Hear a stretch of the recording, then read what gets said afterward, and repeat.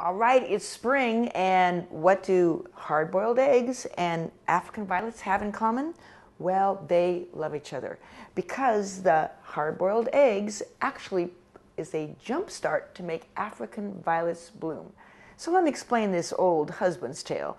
What happens is when you boil the hard boiled eggs, and if you save the water that you boiled the eggs in, and I'm going to let this water cool after boiling the eggs. Now remember, no salt in the water because we're going to use this water from the hard boiled egg to water an African violet.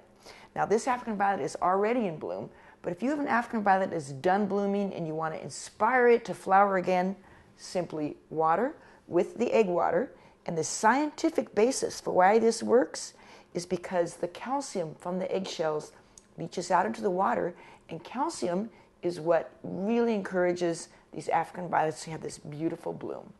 So, an old trip that is still working today hard boiled egg water used to make your African violets bloom.